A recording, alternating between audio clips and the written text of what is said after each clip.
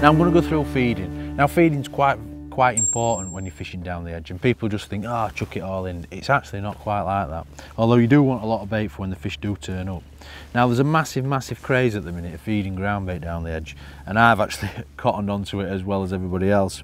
Now we've got a sandy bottom on, on, here on the sand, obviously this is the sandbank of Larford Lakes and as you can generally see with the colour of the ground bait, you know, it's actually a similar colour of what's on the bottom so it looks so, so natural to the fish.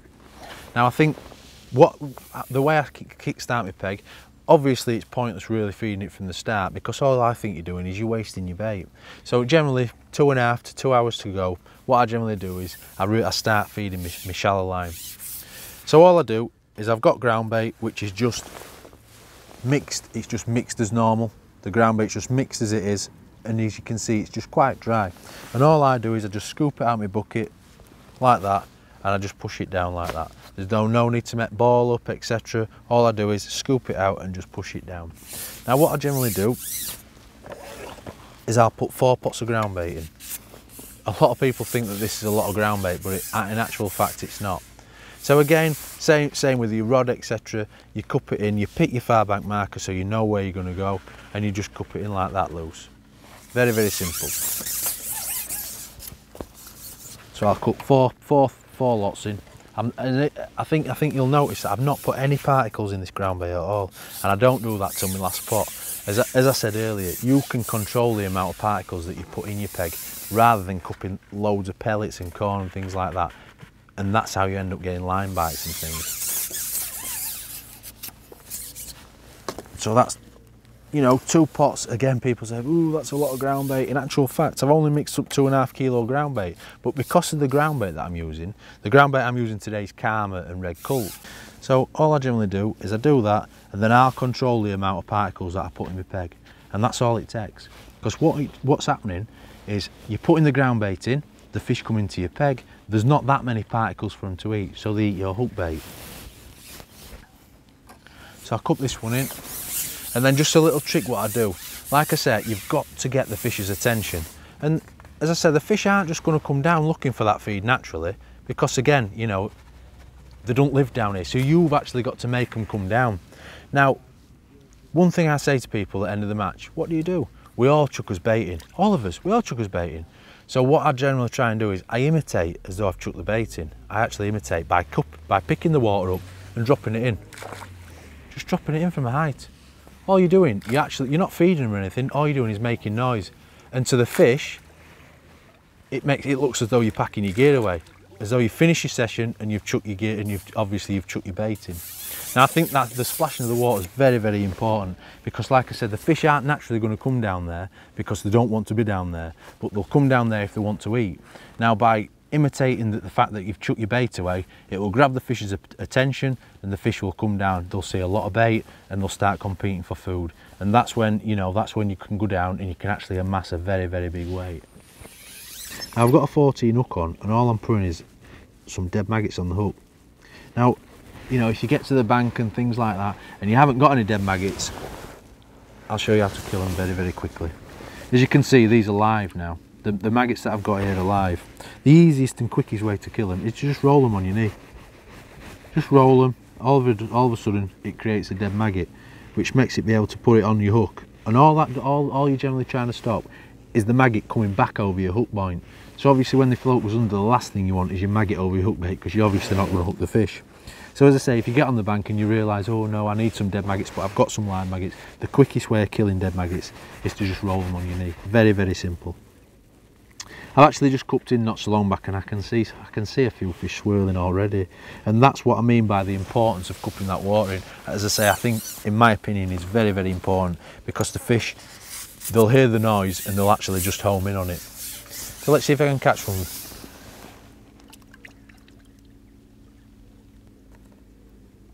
As you can tell, there's quite a lot of fish in there.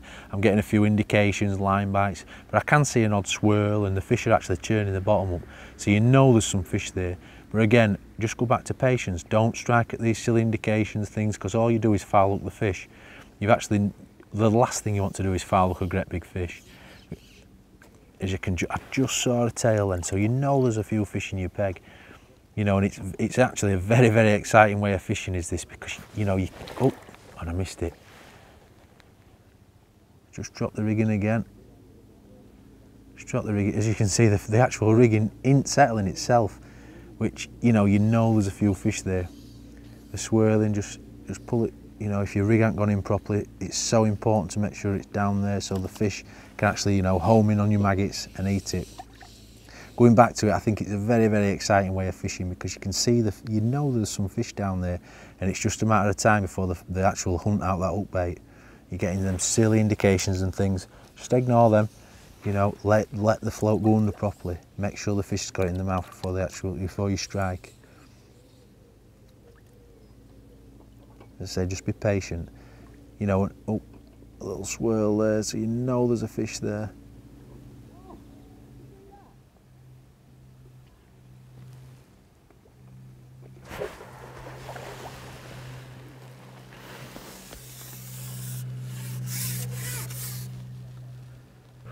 This is very, very good fish.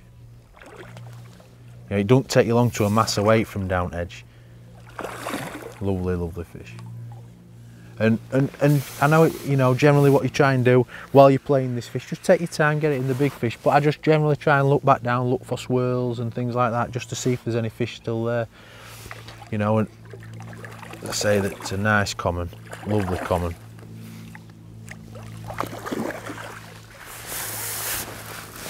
And you can see why you can amass a big weight very very quickly. You know that that didn't take long to come down that ground bait at all. And again now that you know the, the main thing the main thing what you need to do now is feed. And and that's a, that's a thing that you don't see a lot of people do straight after they've caught a carp. Right we'll just have a quick look at my rigs because again i think one of the most important factors of edge fishing is getting your rigs right. You know, I see a lot of people, um, you know, they, they haven't quite got their edge rigs right, and, and I think it's a very important factor. Now, obviously, the last thing you want to do is have breakages and things like that on your floats. Now, the floats that we do at Frenzee, uh, FP800s, uh, basically what these are, they've got they've got a carbon stem, obviously, which is nice and solid. They've got a lovely hollow bristle so you can see it in any light. And what actually happens with these floats is they've got a they've got a metal eye and the line actually runs through the body as well. So in actual fact it's very very difficult to break this. You can't put it's impossible to pull the eyes out because like I said it's got a metal eye plus the line runs through the body. I see a lot of people not putting enough silicone on the float. You put enough silicone on and on your last piece always have it overhanging. Always have it overhanging like that. Because basically what happens is when it's like that, you'll be very surprised how quickly that bottom, the bottom of the carbon stem rubs onto your line like that, which obviously creates a weak spot in your line and eventually your line will probably break. By having an, an overhang, which is what I've got, it's impossible for that to happen. You know, and, and, I, and it don't matter what level you're at, I do see a lot, a lot of people with no, with no overhang on that bottom, on that bottom rubber. Going back to the line. Now the line I'm using I always use, for down for my edge rigs, I always use a nice thick sturdy line and I, uh, in this case I'm using 021 Vertex line. This line's never let me down. It's a, it's a fluorocarbon line um, and I think it's extremely strong. Um, I have two, two back shot. Basically what they're doing is they're just stabling the rig. So when, you when your rig's actually in the water and there's a tow or anything like that, these back shot again, just stable that rig, make sure it doesn't move. Now in this instance where it's very, very, very shallow, I, th I, think it's quite important to have quite a, quite a long piece of line between your pole tip and your float. Now, now as you can see there, I've probably got what nearly two foot of line. Now a lot of people might think, you know, that that's that's quite far away, but in my opinion, because you've got these back shot which control your rig, you're able to actually pull the pole tip away from the heads, which makes the fish feed very, very confidently. Now just running down the rig, all I've literally got is again a very very simple rig. It's just a bulker shot now this this rig you might think is quite quite you know it's quite heavy for down the edge. Now in my opinion I found that, that these heavy rigs are quite a lot lot better. I did start on a 0.2 float when I when I fished this lake last time and I found that when the fish were coming into my peg the rig were getting wafted about which again all it all it does is create foul looks fish which in my opinion is the worst thing you can do when you're fishing down the edge. By having that bulk of shot and having that little heavier rig, you, your hook bait goes to the bottom And when the fish comes in the peg, it's the less chances of your hook bait wafting about because obviously there's more shot on your line, which makes you which makes your hook bait stand to the bottom. Now going down again, I always have hook lengths on, as I mentioned earlier. Always, no matter what rigs it is. Again, it's the same material, 017 vertex line to a 14 hook, a nice strong hook. You can't, you know, the last thing you want is the, the hook, the hook's bending, etc. Big fish down the edge. The, what you need is a, a, nice big strong hook. In this instance, it's a 14, which again, like I say, I can put out six, eight, ten maggots on. You know, dead maggots, things like that. Nice big hook bait, what the fish can actually see. Just going back to the elastic.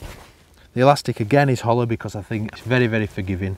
It's our green hollow, which is around, I'd say 15, you know, around a 15, 16 grade mark, which, like I say, this is, I found perfect for fishing down the edge.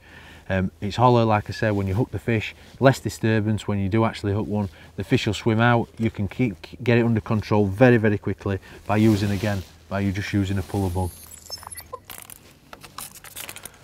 So I'll just put that down. I know I, can see a, an odd swirl still there, so I know that there's fish there. But what you generally try and achieve, people, I know I can see a lot of people go straight back on there because they can see a lot of fish. But what happens is when you do hook a fish, it actually boat, you know, it, it makes the ground bait go over such a large area that, that, that you know, the fish are actually actually covering a large area. And all I'm generally trying to achieve by putting some more bait down there is actually getting them under my, you know, under me, under my pole tip. So again, basically all I've done is I've scooped a, a cup of ground bait out and again, like I say, I'm, I'm actually dictating what sort of particles I put into it. I can actually see a tail now, it's actually unbelievable. But as I say, all I'm doing is putting this in there so so I can actually get the fish right under my pole tip so they're not searching such a massive area. I'll put this in, they'll home straight on in it and then when my hook bait goes under my pole tip, hopefully I'll catch again.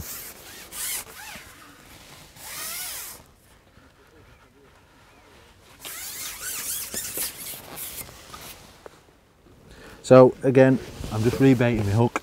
I've just generally put about seven or eight maggots in a bulk like that. And all it generally is, is just a big, big hook bait. So the fish, it's just visibility more than anything. As I say, I've put a very limited amount of particles in there.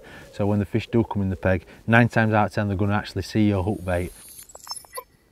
I literally just put it in and I can see a few tails there. They're very, very feeding very, very confidently. And like I said before, it's such an enjoyable way of fishing and it's so exciting because you can actually see the tail so you know that there's fish there. You know, the amount of times that you're fishing out or you're fishing other methods and you can't actually see, what, see what's happening under the water. With this method, you can see that there's fish in your peg, so it actually, you know, it excites you, it gets you going. Oh, and, I'm, and there it's another one. And that's, but as I say, I've literally just cut that ground bait in up and they've come into it so, so quickly. And the thing is, there's such big fish down the edge. You know, you need the gear to actually control them when you do hook them.